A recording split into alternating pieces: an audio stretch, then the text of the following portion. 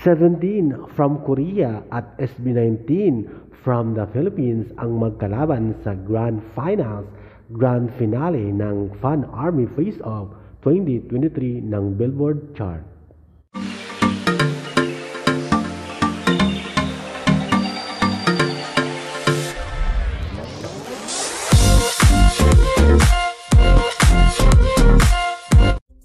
Hello 18s! Welcome back to my channel. Fresh news at good news sa Fun Army Face Off 2023 Grand Finals na po at pasok po ang SB19.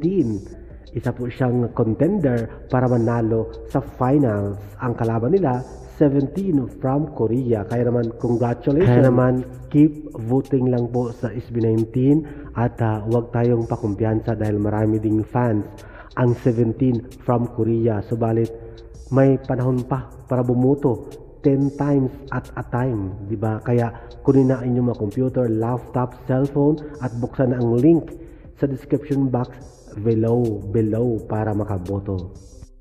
Para makaboto, punta kayo sa description box ng video na to at i-click ang link doon. Kaya naman, start na sa pagboto with SB19.